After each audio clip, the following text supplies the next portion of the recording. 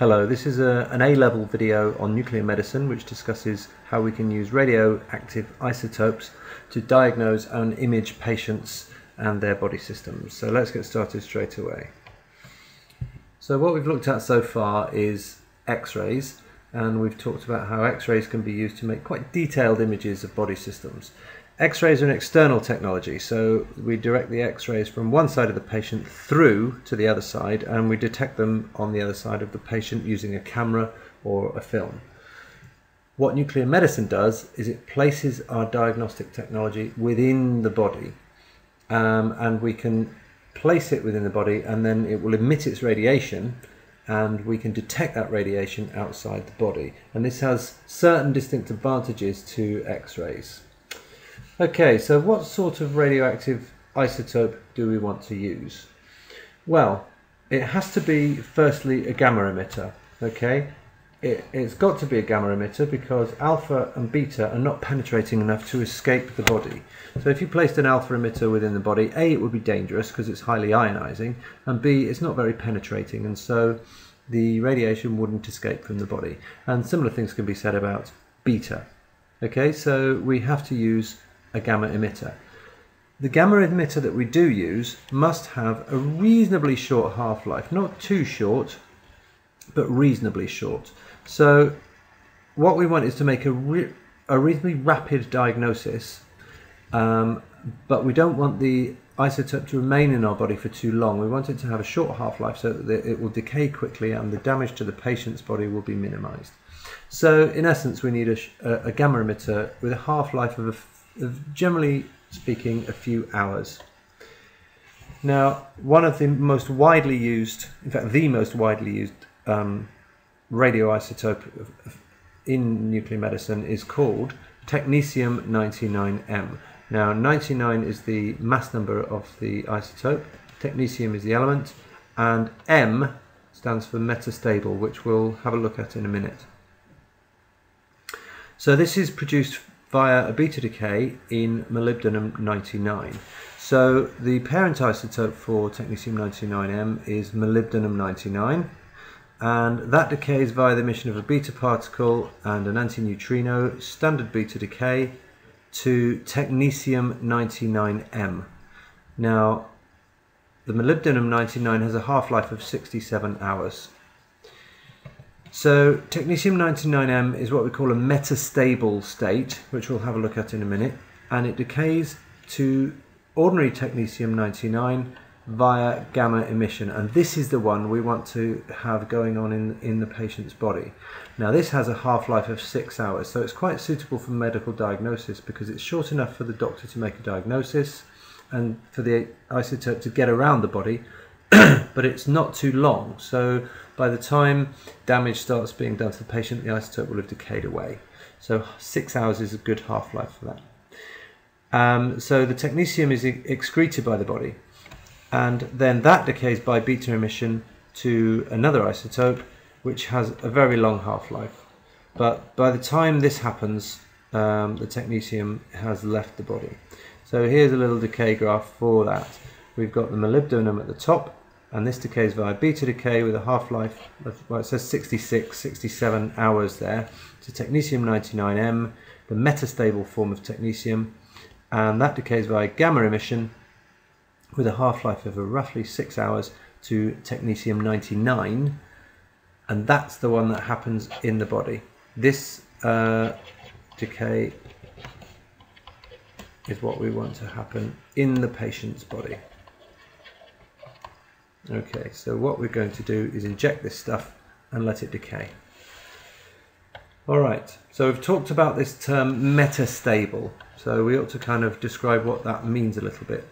Now there are some, um, some isotopes that have two states. Uh, both of them are stable, so it, uh, uh, but the metastable state is what we call an excited state. So the, the nucleus of technetium 99M is in an excited state. And normal excited nuclei will immediately drop down into a, a lower energy state. For example, some elements that decay via alpha decay will immediately be followed by a gamma decay as the nucleus drops from a higher energy excited state into a lower state. Now, a metastable state can stay in that excited state for far longer than usual, up to a few hours in this case. So, an analogy of it is, is this little ball.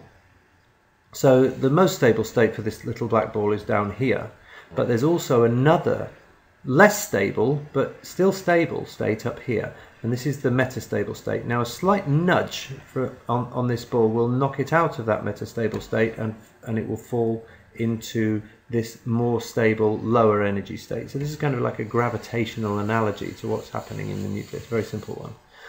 Okay, so the metastable state is one where the nucleus will stay in its excited state because it's reasonably stable for longer than a normal uh, nucleus would. Okay, um, and then it will drop down into its lower energy state via the emission of a gamma photon. And obviously, um, the energy of the gamma photon will equal the difference in the energy levels of the nucleus.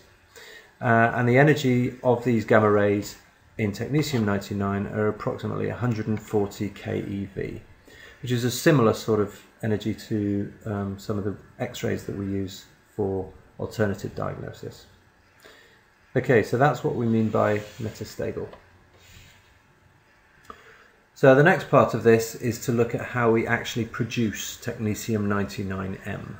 Um, now this has to be done in the hospital itself because of the short half-life it can't be transported. So the technetium-99m must be manufactured on site. So what the hospital will do is it will buy on a weekly basis it will buy a supply of molybdenum-99 um, now, molybdenum-99 is produced in nuclear fission research reactors, um, of which there are a few up and down the country and around the world. And molybdenum-99 is a byproduct of nuclear fission. So this research reactor will, will supply many hospitals, probably all the hospitals in the country, um, with a weekly supply of molybdenum-99 which is shipped down in what they call cows or technetium generators is, is the actual technical term of it. Um, it's a lead shielded box full of molybdenum 99 in essence. So this has a half-life of 67 hours. So the hospital will get their supply of molybdenum 99 on site and then they will manufacture the technetium 99M from the molybdenum. Okay, and you need to know how this is done. Okay, well I've got a diagram coming up in a minute, but let's just have a look at this this text just just to see what what's happening. So the the molybdenum 99 is what we call adsorbed onto alumina. So basically they get a column of alumina, okay, which is like a, a compound of uh, aluminium oxide, and the molybdenum 99 is effectively bonded to this um, this compound. The, the the alumina forms a substrate onto which the molybdenum 99 is bonded and that process is called adsorption. Now when it does that it forms a compound called molybdate which is MO042 minus. So it's a doubly um, negative ion. So the molybdenum 99 in the form of this compound sits there decaying. And as it decays it the compound here changes into what we call pertechnetate now pertechnetate has the formula TCO41 minus, a singly negative ion, which contains the radioactive technetium. Now, the thing is that this this pertechnetate is only singly ionized, all right, whereas the molybdate is doubly ionized, and as such, it forms a less strong bond, a, a looser bond, if you like, with the alum with the alumina. So it's still bonded to the alumina, but less strongly because of the singly ionized molecule. Um, so what you do then is is you you you pull saline solution across the alumina, and the pertechnetate will dissolve in the saline solution. Okay, so you will then get um, a solution of pertechnetate, all right, in what we call sodium pertechnetate. So it bonds with the sodium in the saline solution, forming sodium pertechnetate. and that can then be pulled up. This this process is called an elution, like that elution there. So that is then pulled off by a system of tubes into what we call an elution vial, where you end up with a um, an aqueous solution of sodium pertechnetate, and that is the one that you actually inject into your patient. So if we have a, this is sometimes called milking.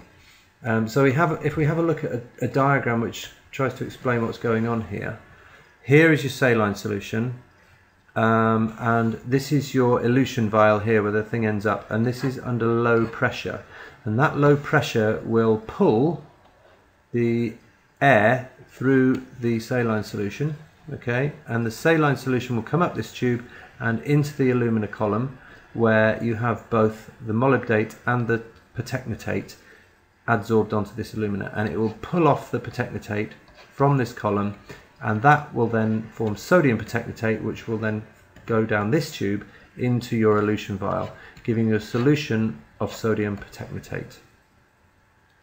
Okay, so that's called, well it's sometimes called milking but it's, it's effectively the production and, and the elution of the sodium pertechnetate from from the uh, from the molybdenum and from the alumina. okay, so what do we do with the sodium pertechnetate once we've got it? Well, we need we use it as what we call a radiopharmaceutical tracer. Now, a tracer is something that can tell you where there's a problem with something, and obviously, a radiopharmaceutical.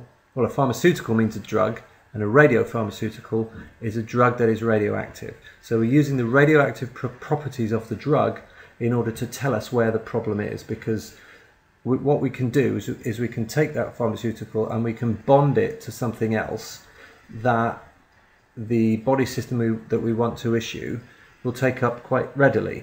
So, for example, if we want to image uh, bone, and technetium 99M is quite good for imaging bone, we can bond it to um, a chemical or a pharmaceutical that contains phosphor because phosphor is very, very readily taken up by bone because it's one of the ingredients of bone. So bone uses any phosphor that's in the body.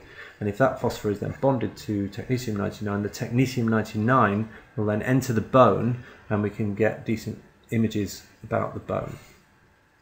Okay, so these are targeted pharmaceuticals, targeted drugs um, that will be taken up by what we want to image. So we're being quite clever about it, um, and that's what's known as a tracer. Okay, so here are some uh, radiopharmaceuticals that we actually use in. Oh, it's really sorry, I seem to have spelled medicine wrong up there. Just ignore that. So another one we can use for bone is fluorine 18. Uh, fluorine is also used for PET scanning, which we'll look at in a different video. Technetium 99M is quite widely used because it's got many um, different uses. So for bone, for blood circulation, and for functions of the heart and liver. And we can get very good images of functioning hearts and things like that using this process. Um, if we want to image the thyroid, we can bond it to an iodine 123. Um, sorry, no, we, we can use uh, a radiopharmaceutical, uh, which is an isotope of iodine. And if we want to look at uh, the function of lungs, we can use um, a radiopharmaceutical xenon 133. So there are various radioisotopes, radiopharmaceuticals that we can use, technetium 99M being the most common.